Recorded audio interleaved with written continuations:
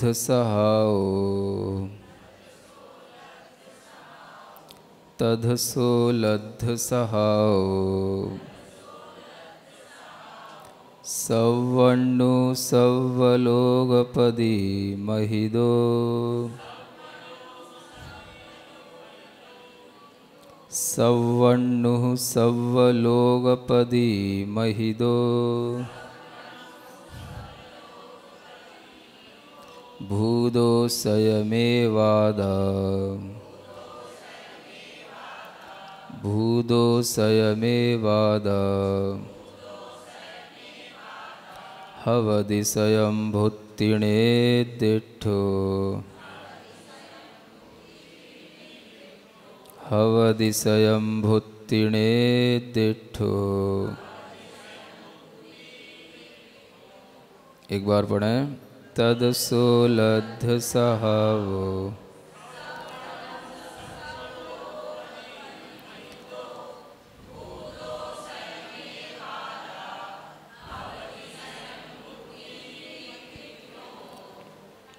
तद माने इस प्रकार, सो माने वह लद्ध सहावो, जिसने अपने स्वभाव को प्राप्त कर लिया है। लब्ध स्वभाव, लब्ध सहाव। जिसने अपने स्वभाव को प्राप्त कर लिया है, वह कौन हो गया? सवर्णु उन्हें हम सर्वज्ञ कहते हैं। जो पिछली गाथा में बताया था कि उपयोग की विशुद्धि होने से जिन्होंने अपने आवरणीय कर्मों को, अंतराय कर्मों को और मोहनी कर्मों का नाश कर लिया, वह सभी ज्ञेयों को जानने लगे। उन्हीं के बारे में यहाँ बताया जा रहा है कि वो ऐसा करके क्या कहलाने लगे या क्या हो गए। तो जिन्होंने अपने इन कर्मों का नाश करके समस्त गेयों को जान लिया, वही हमारे लिए अब सवर्णु हो गए। प्राकृत में सर्वज्ञ को सवर्णु बोलते हैं। विष्णु को विष्णु बोलते हैं। क्या बोलते हैं? ऐसे ही सर्वज्ञ को सवर्णु। तो वह सर्वज्ञ हो गए और सर्वज्ञ होने का मतलब कि उन्हें अपने स्वभाव की प्राप्ति हो गई। किसकी प्राप्ति? स्वभाव की। हुँ? स्वभाव की प्राप्ति हो गई। मतलब जो आत्मा का स्वभाव था, वह स्वभाव उन्हें प्राप्त हो गया। इससे पहले आत्मा के स्वभाव को प्राप्त नहीं किया जा सकता, जब तक कि ये अंतराय, मोहनीय, ज्ञानावरणी आदि कर्मों का नाश नहीं होता। ये होने पर ही वह स्वभाव को प्राप्त हो जाए और तभी वह सब लोग पदि महिदो समस्त लोक के जो अधिपति हैं, उनसे वह पूजित हो गए। जैसे ही केवल ज्ञान की प्राप्ति होती है, देवता लोग आकर के उस केवल ज्ञान की पूजा करने लग जाते हैं। कैसे पता पड़ेगा आपको? केवल ज्ञान हो गया। आपको से मतलब?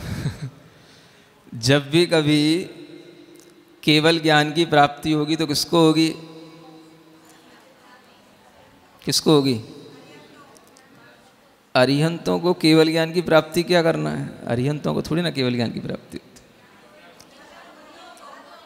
किनको प्राप्ति होगी? आ?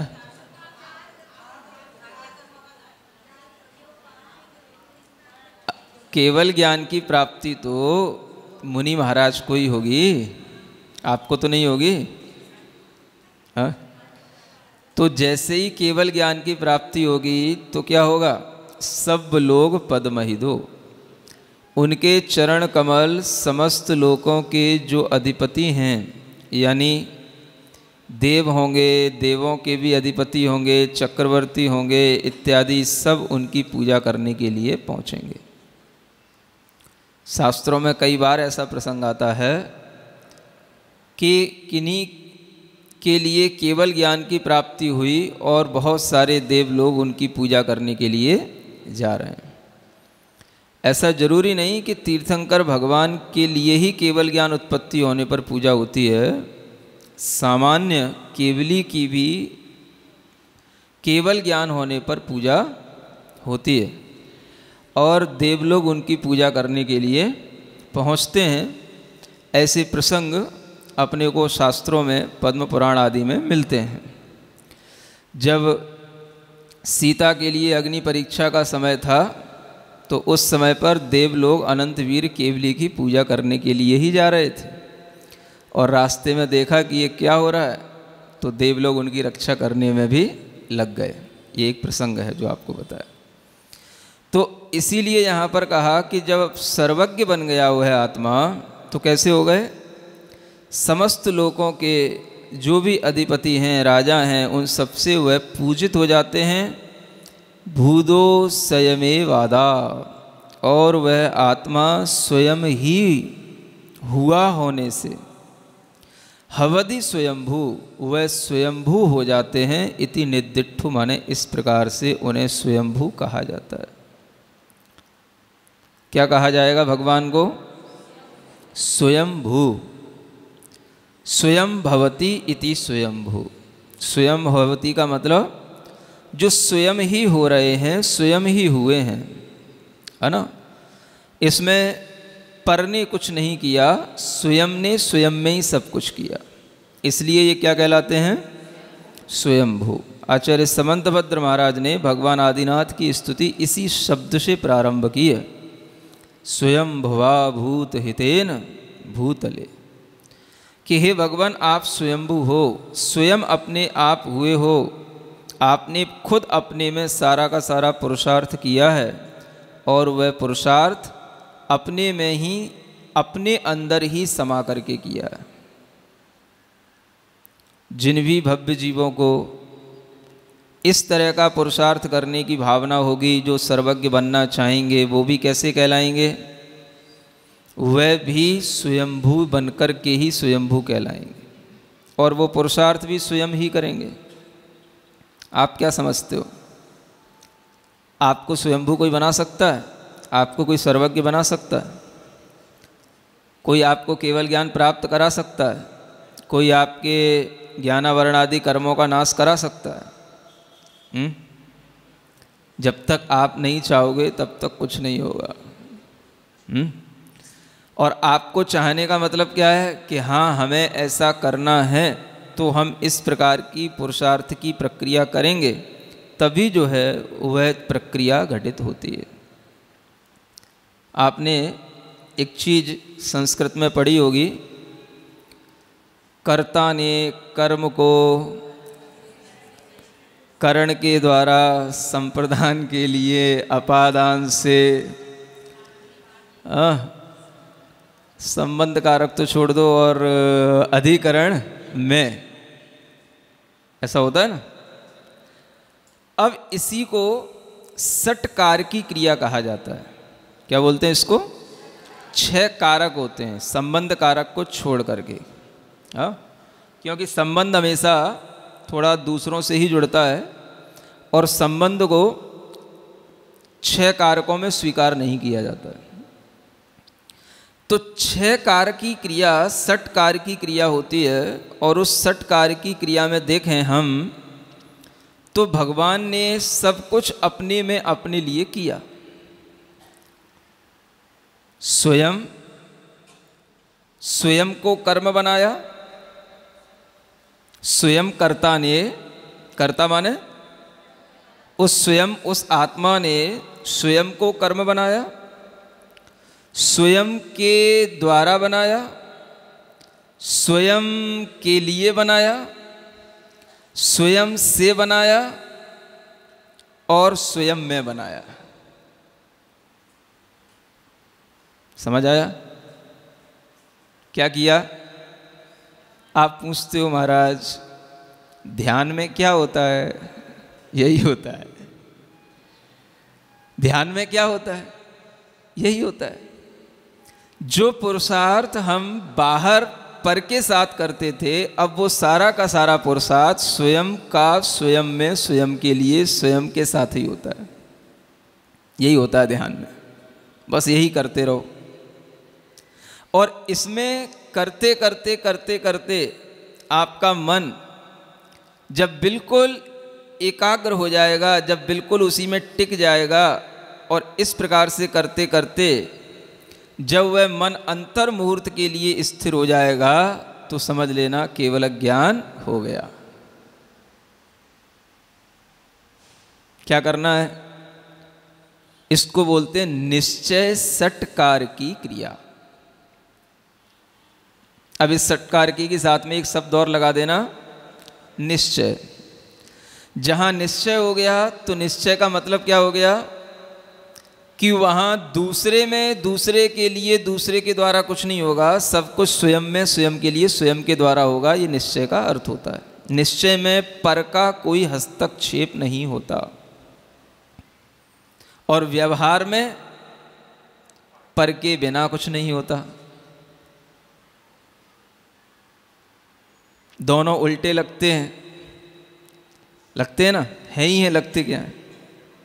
व्यवहार में पर का आलंबन होता है, पर के साथ ही सब कुछ होता है, और निश्चय में स्व का आलंबन होता है, स्व के साथ सब कुछ होता है। इसलिए कई लोग जब निश्चय सटकार की व्यवस्था को समझते हैं या पढ़ते हैं तो वह व्यवहार को गलत कहने लग जाते हैं। क्या समझ में आ रहा है?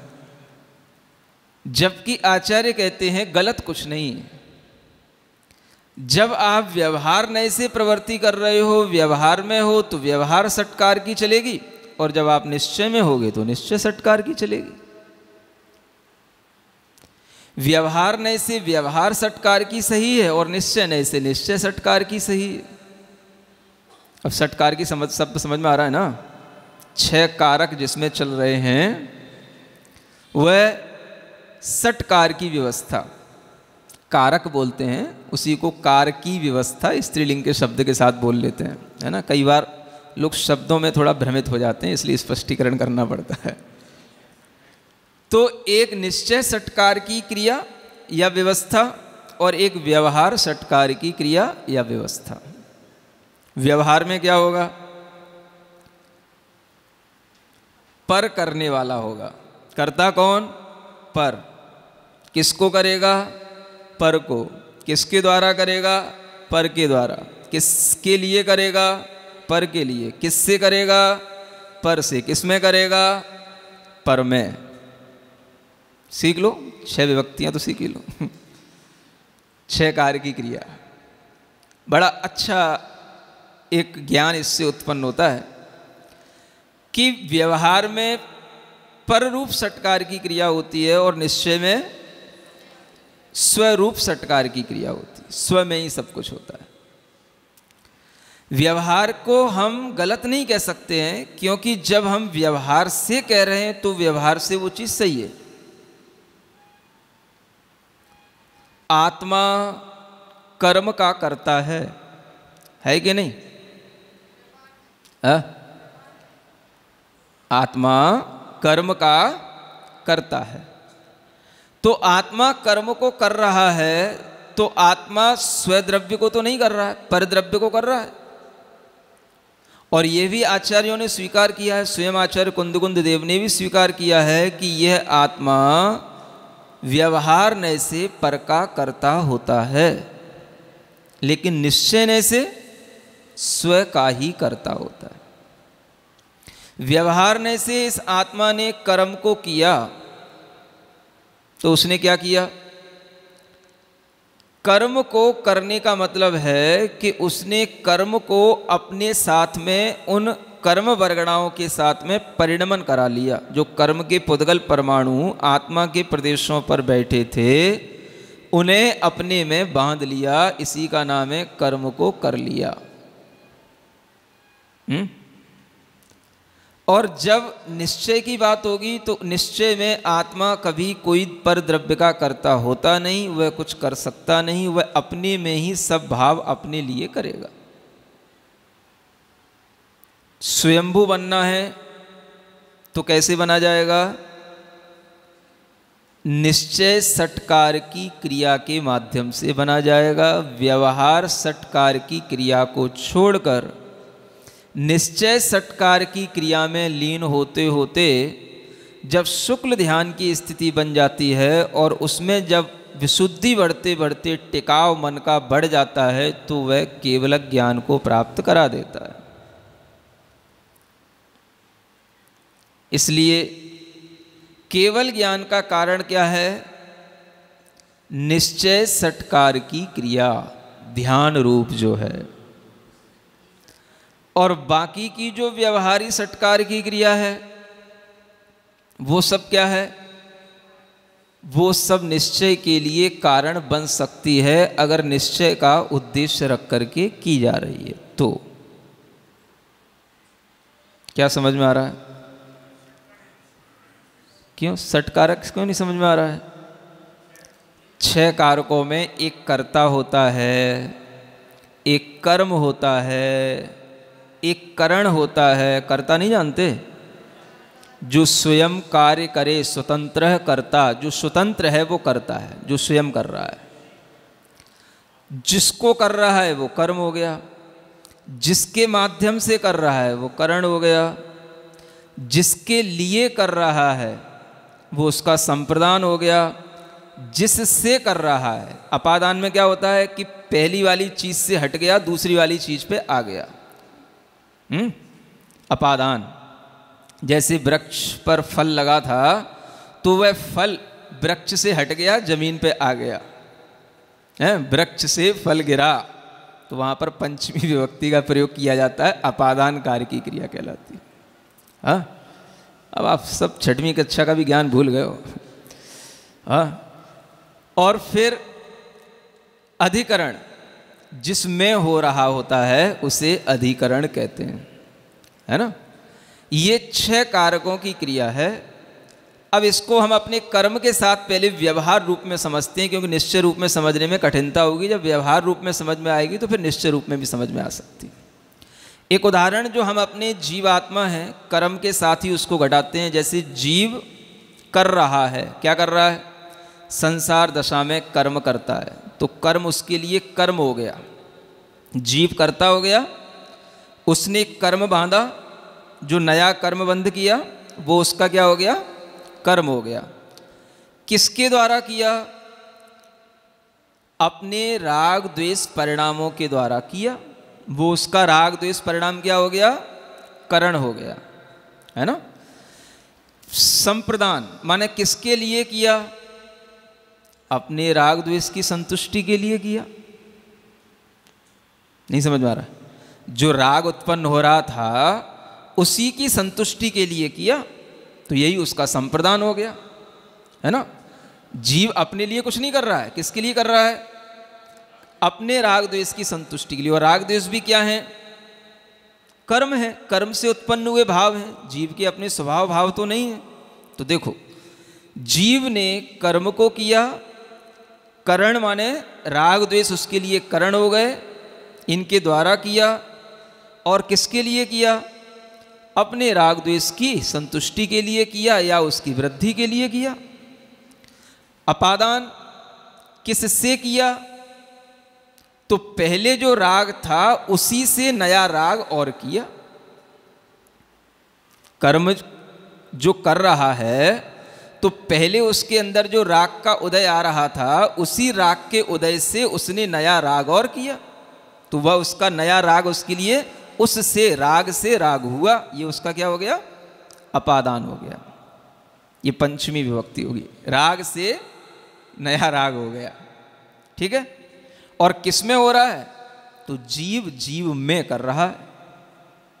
ये अधिकरण हो गया। ये छह कार की व्यवस्था है। आप कहीं भी घटित कर लो। आप बताओ, वहीं घटित कर दूँ मैं? आपके भवन में, आपके शरीर में, है ना? आपकी पुत्र उत्पत्ति में कि आपके मकान बनाने में, कहीं पे भी घटित कर लो। करने वाला कौन किसको कर रहा है, किससे कर रहा है, किसके लिए कर रहा है, किसके, किससे कर रहा है और किसमें कर रहा है? यह होगी सटकार की क्रिया। एक उदाहरण और सुनना चाहो तो फिर समझा देते हैं जो जगत प्रसिद्ध बात चलती है हाँ उदाहरणों के लिए कुमार का घड़ा, है ना? मिट्टी से अपने को घड़ा बनाना है। कौन बनाएगा? आप तो नहीं बनाओगे, कुमार बनाएगा, है ना? तो मिट्टी से घड़ा बनाने में, अब देखो करता कौन? वहाँ मिट्टी को करता नहीं कहेंगे, वहाँ करता कौन? वहाँ कुमार करता होगा। कुम्हार बना रहा है है ना? मिट्टी कर्म है उसके लिए, मिट्टी कर्म है उसके लिए करण, जो डंडा है, जिसके घुमाने से वह मिट्टी लौंदा बन रही है और घड़ा बन रही है। वो सब चाक है, डंडा है, उसके हाथ का प्रयोग है, ये सब क्या है? करण हो गया। फिर बोलो अब आगे। संप्रदान के लिए, किसके लिए कर रहा है? घड़ा बना रहा है। तो आपके लिए बना रहा होगा, क्योंकि आपको ठंडे पानी की ज़रूरत पड़ती है। उसको पैसे की ज़रूरत पड़ती है। इसके लिए बना रहा है। वो संप्रदान हो गया उसका। फिर, किससे वो जब घड़ा बनेगा तो उससे पहले की जो पर्याय होगी उससे वो घड़ा बन गया। माने चाहे वो लौंदा किसी भी रूप में बन गया हो और वह लौंदे से जब घड़ा बन गया तो लौंदा उससे घड़ा बन गया। मिट्टी का जो एक अलग शेप बन जाता है, उसको लौंदा बोलते हैं, उससे जो है वो घड़ा बन गया तो वो उसका अपादान हो गया। किसमें बन रहा है घड़ा? चाक में। हाँ कह सकते हो, चाक पे बन रहा है, कीली पे बन रहा है, उसका अधिकरण वो कीली हो गई, जिस पे वो रखा हुआ है, चाक। वो कह सकते हो, वो उसका अधिकरण हो गया। ठीक है, समझ आ गया? अब हर चीज़ में घटित करते रहना। कपड़ा बनाओ तो रोटी बनाओ तो यही लगाना आवाज़ व्यवहार सटकार की क्रिया। है? और जिसमें समझ में ना आए, पूछ लेना।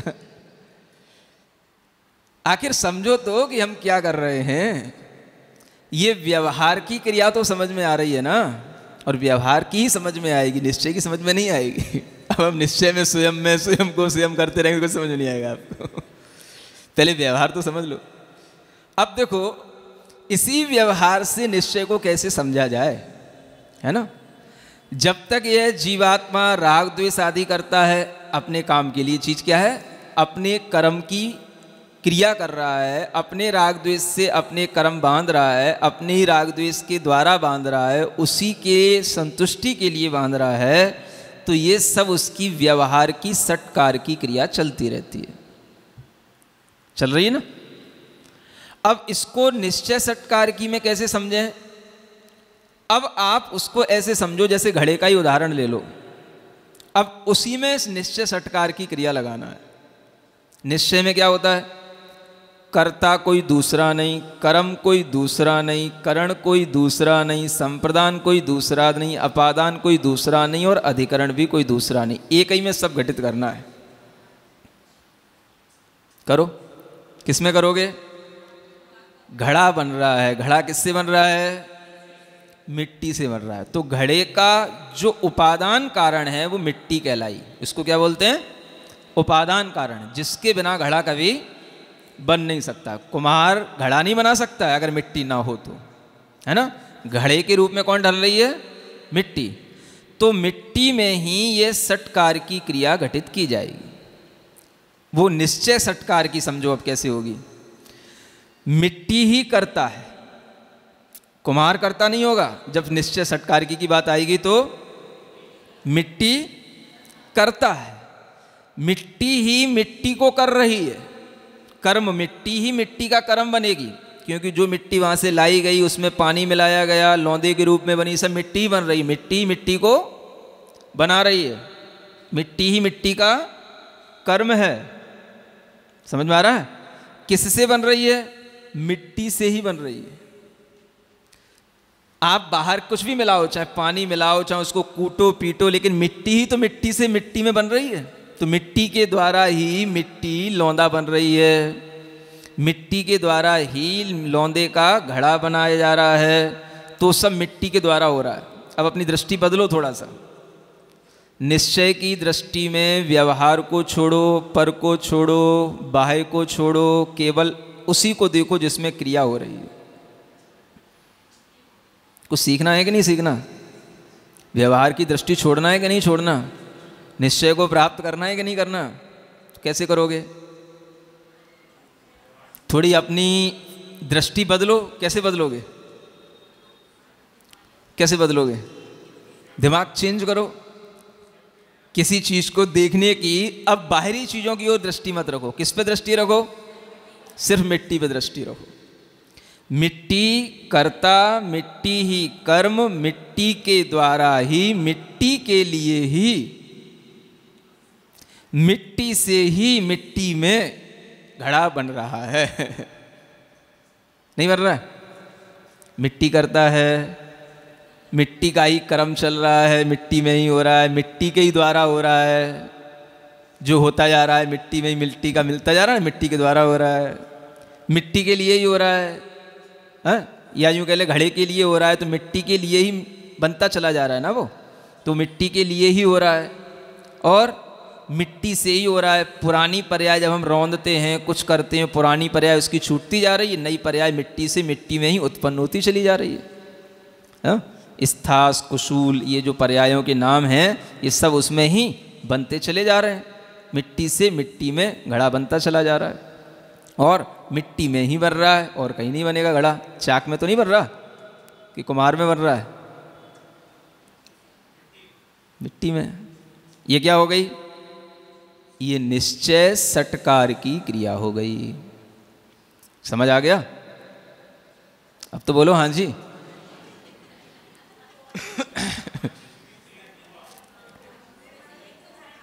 अभी भी क्लियर नहीं हुआ? हे भगवान।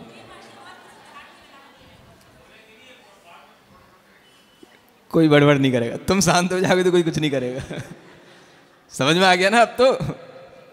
जिस चीज़ में हमें जो बनाना है, अब रोटी बनाना सिखाऊं क्या? उसमें लगाओ, व्यवहार पर भी दृष्टि रखो, व्यवहार सट क्रिया भी चल रही है, और निश्चय सटकार की भी चल रही है। किसमें? रोटी में। कैसे बनेगी रोटी? आटे से बनेगी। समझ में आ रहा है? आटे से रोटी की प्रक्रिया जब तक बनाते चले जाओगे उसमें जो कुछ भी करोगे हाँ उसमें पानी मिलाओगे, बेलन पे, बेलन से चलाओगे, चके पे रखोगे, सब जो है, जो आप करते जाओगे, आटे के अलावा जो कुछ हो रहा है, करने वाला जिसके लिए कर रहा है, वो सब पर के साथ हो रहा है, उसको देखो व्यवहार की दृष्टि से और जिसमें हो रहा है, उसको देखते जाओ, निश्चय की दृष्टि से आ? तुम्हें रोटी बनाना नहीं आता ना, इसलिए कह रहे हो, समझ में नहीं आ रहा है सब रोटी बनाने वालों को सब समझ में आ गया है? हाँ। हाँ इसमें आटे में ही सब हाँ हम्म हम्म। इसमें आटे में ही सब निश्चय सटकार की क्रिया घटित होगी। आटे से रोटी बन रही है तो रोटी किसने बनाई? आटे ने बनाई, आपने नहीं बनाई। सुन लो सुन लो, देखो, लड़ाइयों की जब वजह सुन लो। हाँ। अगर हम यूँ कहें, निश्चय से रोटी किसने बनाई? आटे ने बनाई। समझ में आया ना? किसके लिए बनाई? हाँ तो वो आटे के लिए ही बनी है रोटी। है? किसके द्वारा बनाई? आटे के द्वारा बनाई। किसमें बनाई? आटे में बनाई। किससे बनाई? आटे से बनाई। समझ में आया ना? और बनाने वाला कौन? आटा। किसको बना रहा है? आटे को। ये सब क्या हो रहा है? ये सब निश्चय सटकार की क्रिया चल रही है। भव्य आत्माओं, रोटी बनाते हुए भी अगर ये निश्चय का भान बना रहे, हैं तो समझते रहोगे कि देखो कैसे निश्चय में, सब कुछ रोटी में, बनने की क्रिया में, सब कुछ आटे में ही होता चला जा रहा है, हैं? और करते भी जाओ। अपने आप तो आटा नहीं बन जाएगा ना रोटी में? भले ही मशीन से बनाओ, किसी से बनाओ, कोई दूसरा तो सहायक होगा। हा? लेकिन सहायक जितनी भी चीज़ें होंगी, वो सब छूट जाएँगी जब रोटी बन करके तैयार हो जाएगी। कोई उसमें घुसा नहीं रहेगा। ना आपके हाथ उसमें घुस गए, ना बेलन उसमें घुस गया, ना चक्का उसमें घुस गया, है ना? कुछ नहीं। रोटी अपने आप में स्वतंत्र है, बाकी की जितनी भी चीज़ें थी सब बाहर छूट गई। व्यवहार सब बाहर छूट जाता है और निश्चय को प्राप्त होने के बाद में व्यवहार झूठा है, ऐसा कहने में आ जाता है। वस्तुतः देखा जाए तो ऐसा कहना भी थोड़ा सा सही नहीं लगता है। है ना? ऐसा कहना सही लगता है क्या? अपना काम हो गया तो हमने दूसरे को झूठा बना दिया। है? अरे इतना तो कहो तुम्हारे सहयोग से हुआ। नहीं समझ में आ रहा। है? इतना कहने में क्या जा रहा है, है? यहीं पे बस लड़ाई है दुनिया में और कुछ नहीं है। निश्चय और व्यवहार की लड़ाई बस इतनी सी है। निश्चय को जानने वाला निश्चय को मानने वाला व्यवहार को झूठा बोलता है। व्यवहार को असत्य बोलेगा।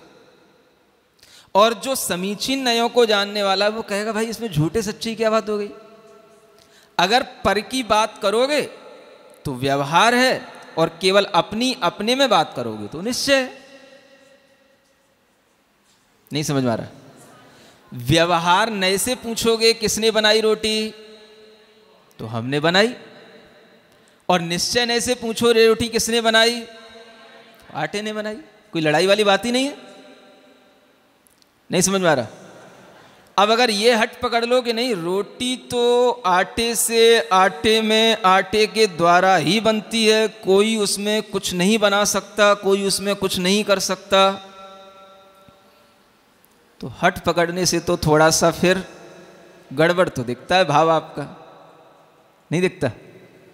है? करना ही पड़ेगा। है ना? देखो, ये ध्यान रखो।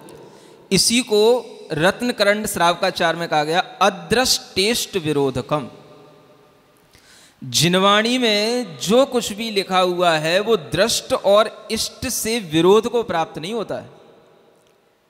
यानी जो हमें दिखाई देने वाला लौकिक व्यवहार है, वह सारा का सारा व्यवहार भी इन्हीं व्यवहार नए और निश्चय नयों के द्वारा जानने में आता है, बताया जाता है और अगर अलौकिक भी कोई मार्ग पर चलने वाला होता है तो उसकी प्रक्रिया भी इसी व्यवहार और निश्चय नए से बताई जाती है।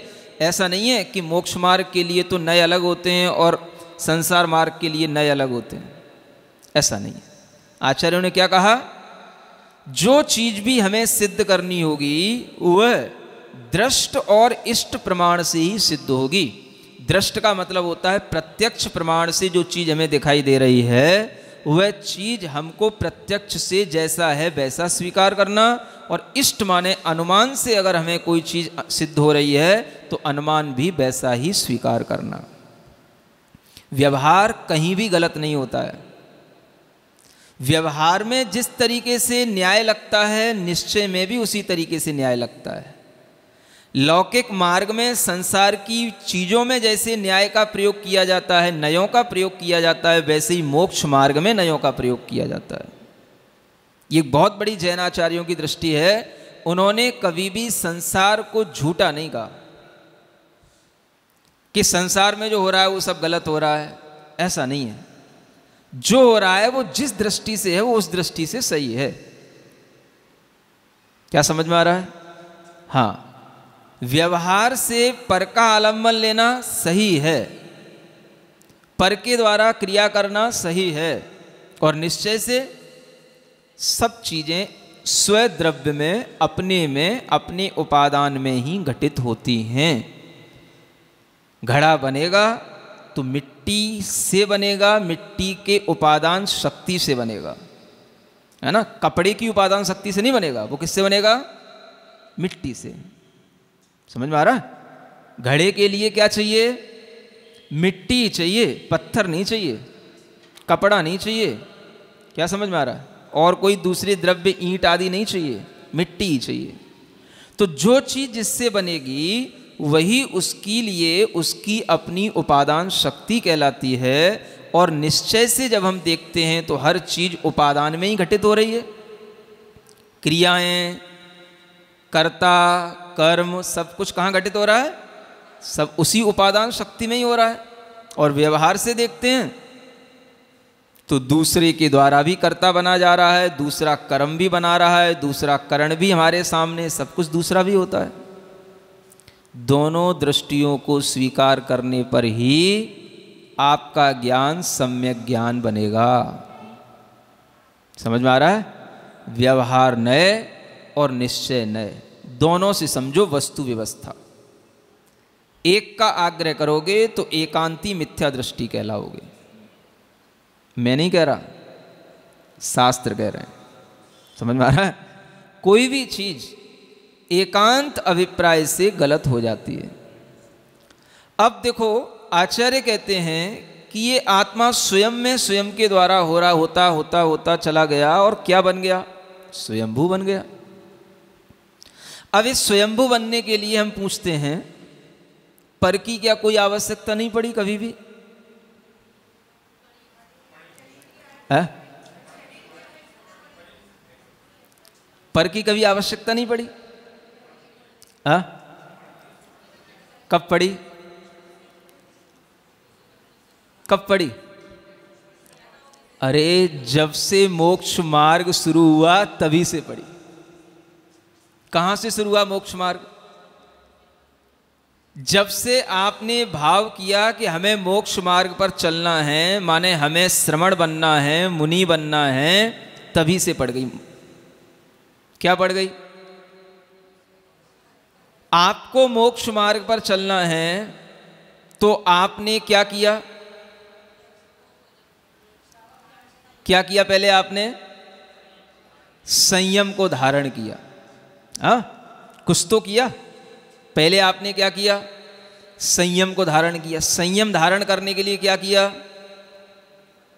कपड़ों का त्याग किया, परिग्रह का त्याग किया। नहीं किया? हा?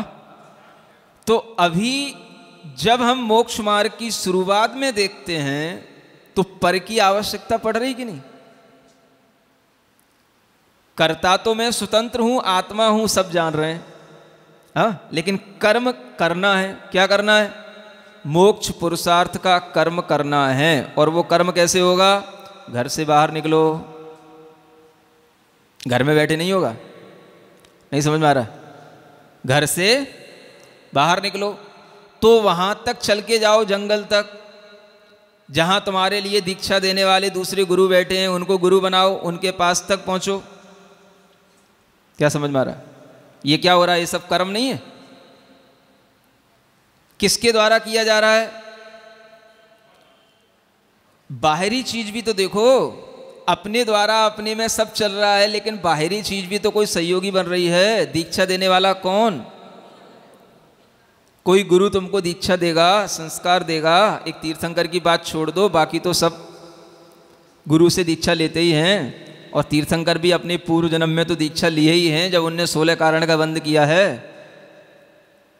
वो भी छूटे तो नहीं है, मोक्ष मार्ग तो बहुत पहले से शुरू हो चुका है उनका। हा? और जब उन्होंने ये सब किया, घर छोड़ा, घर से अलग हुए, अपादान हुआ कि नहीं? घर से अलग हटो। जिनसे पहले टचमेंट था, उनसे अलग हटो। हाँ? उनसे दूर हो पहले। जो परिग्रह था, उससे अलग हटो। जो राजे, रजवाड़े, रानियाँ, बच्चे, सब थे उनसे अलग हटो। ये क्या हो रहा है? ये पर में क्रिया हो रही है स्वयं हो रही है? हाँ? पर में हो रही है? घर से जंगल गए, गुरु के द्वारा हुआ, है? संयम के लिए व्रतों को अपनाया, व्रतों की भावना की। अभी स्व की भावना तो नहीं हो रही, अभी पहले व्रतों की भावना हुई। व्रतों का पालन करना और फिर वो सब करते करते करते करते ऐसी स्थिरता आ जाना कि बिल्कुल ध्यान में ऐसा लीन हो जाना कि वहाँ पर बाहर ना गुरु बचे, न कोई घर, वन, जंगल में बैठा हूँ, ये ध्यान रहे, न कोई शरीर, इंद्रियों का कुछ काम हो। बिल्कुल आत्मा में, आत्मा के लिए, आत्मा के द्वारा आत्मा को आत्मा से आत्मा में प्राप्त करते चले जाना। ये क्या हो गया? लेकिन व्यवहार के बिना नहीं हुआ। पहले व्यवहार, फिर निश्चय। और इस तरह के निश्चय से ही ये कहलाया व्यवहार मोक्ष मार्ग। कौन सा? जो हम घर से बाहर आए संयम धारण किया, संयम का अभ्यास किया, गुरु से दीक्षा ली, वस्त्र त्याग किए, केस लॉन्च किए, सब पर में चल रहा है, शरीर आश्रित। है ना? लेकिन किसके लिए हो रहा है? स्वयं के लिए। उसमें भी तो कुछ ना कुछ परिवर्तन आ रहा है कि नहीं आ रहा है? नहीं आएगा। आटा बनते समय आटे में क्रिया आप कर रहे हो, लेकिन परिवर्तन आप में नहीं आता। परिवर्तन किसमें आ रहा है? आटे में ही आ रहा है ना? दृष्टांत याद रखो हाँ? तो हो तो सब उसमें ही रहा है ना? किसमें? आत्मा में। आत्मा में कसायों का अभाव हो रहा है, विशुद्धि बढ़ रही है। आत्मा के लिए ही जो है, गुणस्थान बढ़ रहे हैं। आत्मा का ध्यान की शक्ति बढ़ रही है। सब कुछ किसमें हो रहा है? आत्मा में। लेकिन किसके माध्यम से? बाहरी पर द्रव्यों के माध्यम से हो रहा है। और एक स्थिति ऐसी बनती है, जब पर द्रव्य बिल्कुल छूट जाता है आत्मय व आत्मन गुरु। क्या बोलते हैं आचार्य? आत्मा ही आत्मा का गुरु बन जाता है। ये भी होता है। क्या सुने? आत्मा ही आत्मा का गुरु बन जाता है। आत्मा है को ही आत्मा का गुरु बनाओ। मतलब फिर एक स्थिति ऐसी आती है, हम कैसे ध्यान करें? कैसे हम संयम का पालन करें? कैसे हम ध्यान में स्थिरता लाएँ? ये बातें तब तक पूछनी पड़ती हैं, जब तक आपकी आत्मा आपका गुरु नहीं बना। तब तक इसको बाहरी गुरु से हमें पूछना पड़ता है। और जब गुरु के बनाए हुए निर्देश के अनुसार अभ्यस्त होता चला जाता है तो फिर अपने आप में ही सीखता चला जाता है कि कैसे ध्यान करना, कैसे बैठना, कैसे ध्यान में एकाग्रता लाना, कैसे मन को रोकना। गुरु क्या क्या बताएँगे? कोई मन को पकड़ के थोड़ी ना बताएँगे, ले ये रखा तेरा मन लूप, इसमें टिका दे यहाँ। गुरु क्या बताएँगे? तो गुरु के माध्यम से वह प्रयास जब करते करते अभ्यस्त हो जाता है तो फिर आत्मैव आत्मन गुरु। आचार्य पूज्यपाद महाराज इष्टोपदेश में लिखते हैं कि आत्मा ही आत्मा का गुरु बन जाता है। हा? उस समय पर उसके लिए यही स्वयं में स्वयं की सटकार की क्रियाएँ घटित होती हैं, तब वह स्वयंभू बन जाता है। इसलिए कोई भी आत्मा जब केवल ज्ञान को प्राप्त कर लेती है तो वह स्वयंभू ही कहलाती है, क्योंकि वास्तविक पुरुषार्थ तो उसने स्वयं में की ही किया है। हाँ? हाँ घटना तो स्वयं में ही हुई। घटना तो वही होगी ना जहाँ उपादान होगा। उपादान अपनी शुद्ध आत्मा, अपनी आत्मा में ही सब घटित हो रहा है। इसलिए सब कुछ जो है आत्मा में ही घटित होने के कारण से वह आत्मा अपने ही पुरुषार्थ से बना ये कहा जाएगा। लेकिन एकदम से निश्चय के साथ में व्यवहार को झूठा मत कह देना और व्यवहार को भुला नहीं देना। नहीं तो निश्चय की प्राप्ति जब तक नहीं होती है, तब तक तो व्यवहार में आवश्यक ही है। रोटी को बनाने के लिए आटे को गीला कौन करेगा? अपने आप गीला हो जाएगा। अपने आप तवे पे चढ़ जाएगा। अपने आप उसकी काल लब्धि आ जाएगी, बेलन उसके ऊपर यूँ यूँ करने लग जाएगा। अपने आप, है? इतना निश्चय में मत बहो। कि व्यवहार की क्या प्रक्रिया है और क्या उपयोगिता है, उसको भी भूल जाओ। है ना? भूल जाना बाद में जब निश्चय जब अरिहंत बन जाओगे, सब भूल जाओगे। लेकिन जब तक नहीं बन रहे हो तो उससे पहले तो याद रखो कि हमें क्या करना है। आ? अगर निश्चय में ध्यान करने के लिए आत्मा में ही आत्मा का गुरु होता है, ऐसा हमने कह दिया। क्या करना अपने को दूसरा गुरु बना करके, जब आत्मा ही आत्मा का गुरु होता है? पहले उसको गुरु तो बनाओ, पहले दूसरे को गुरु बनाओगे, जब ही तो पता पड़ेगा कि ध्यान कैसे होता है, संस्कार कैसे आते हैं, उसके अलावा तुम्हें कैसे पता पड़ेगा कि निश्चय में आत्मा आत्मा का गुरु हो जाता है? समझ में आ रहा है? तो जब तक हमें निश्चय की प्राप्ति नहीं होती है, तब तक हमारे लिए व्यवहार सटकार की क्रिया भी उपादेय होती है, ग्रहणीय होती है।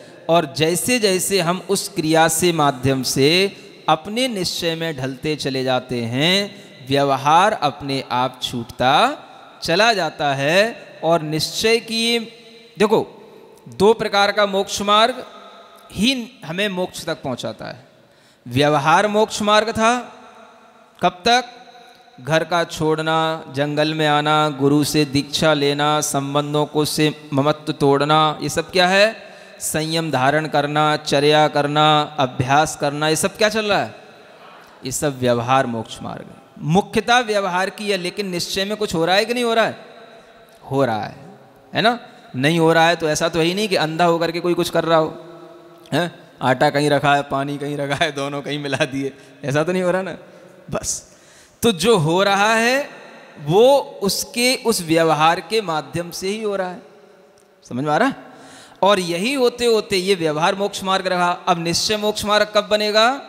जब व्यवहार का आभास छूट जाएगा और अपने ध्यान में वह निमग्न होगा तो वह निश्चय मोक्ष मार्ग में लीन हो रहा होगा।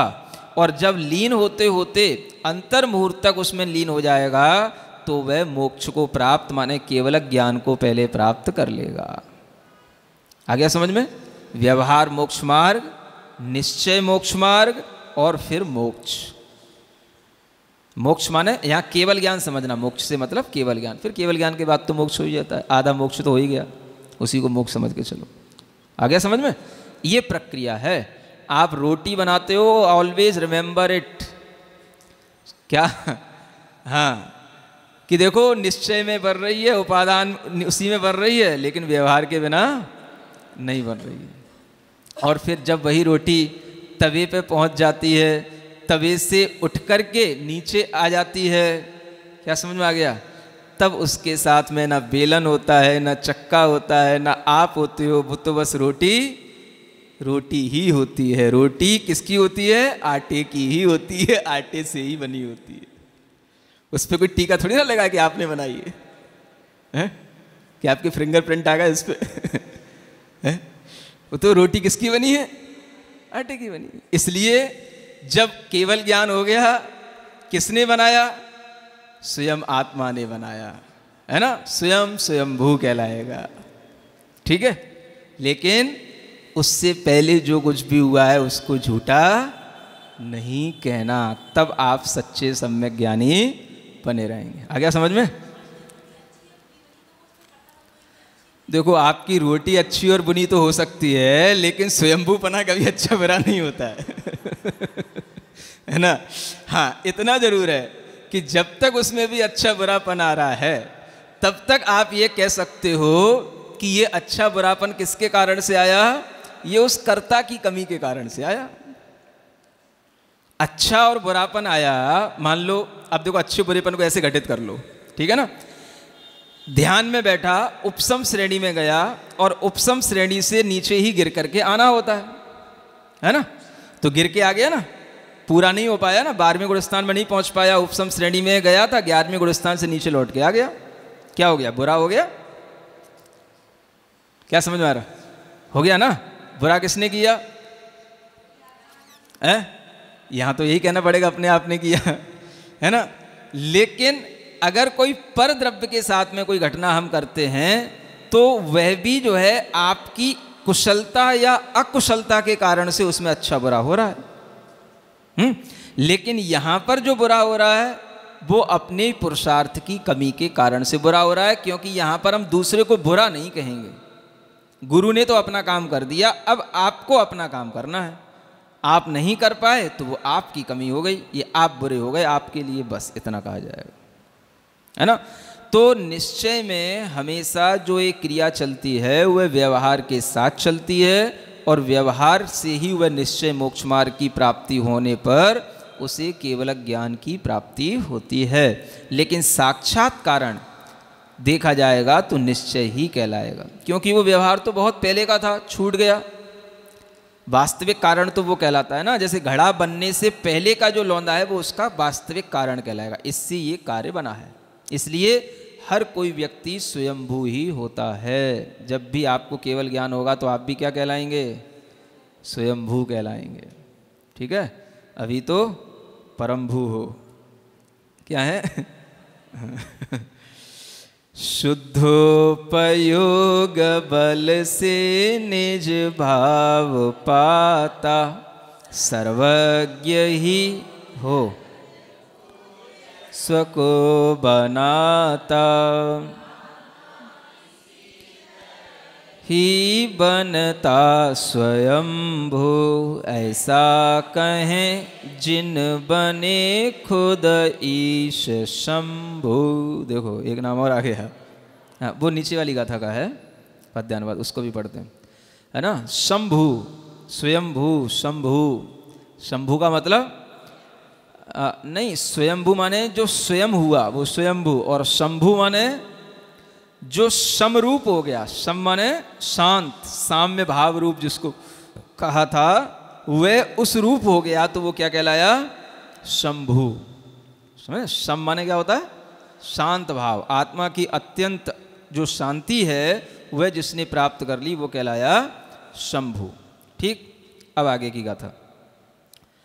भङ्गविहूणोयभवो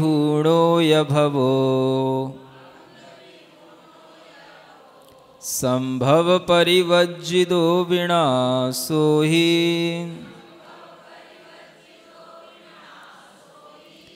विद्यदि तस्येवपुणो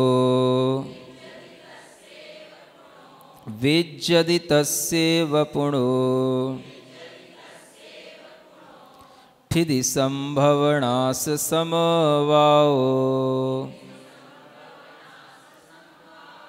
हम्म, पढ़ें एक बार।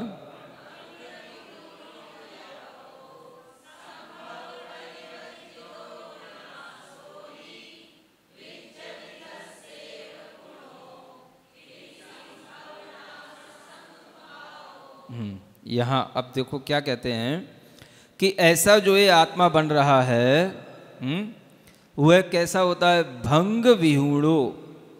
भंग माने विनाश।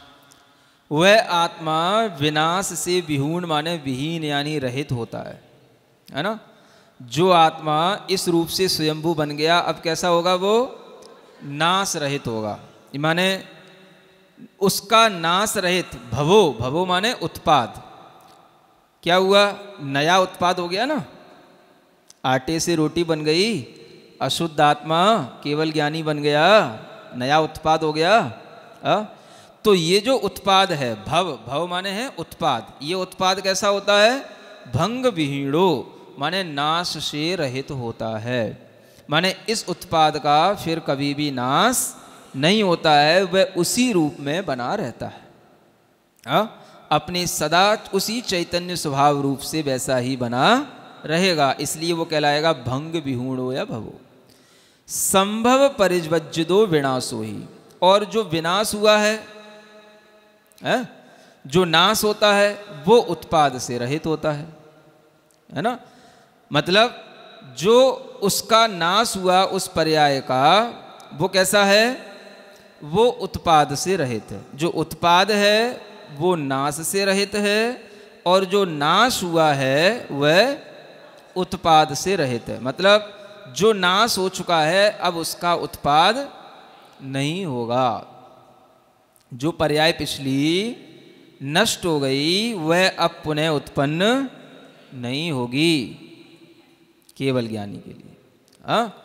जो केवल ज्ञान क्षय ज्ञान हो गया। पहले क्या था? क्षयोपम ज्ञान, है ना? तो अब जो क्षय ज्ञान उत्पन्न हो गया, अब ये कभी भी क्षयोपम ज्ञान में परिवर्तित नहीं होगा।